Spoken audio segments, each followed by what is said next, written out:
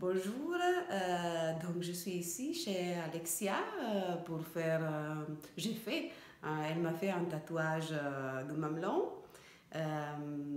Suite à mon opération géomastectomie totale, euh, double mastectomie, donc j'avais plus de mamelon.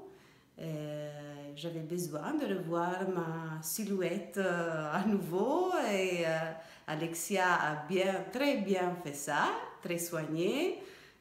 Elle est fantastique, un super bon contact.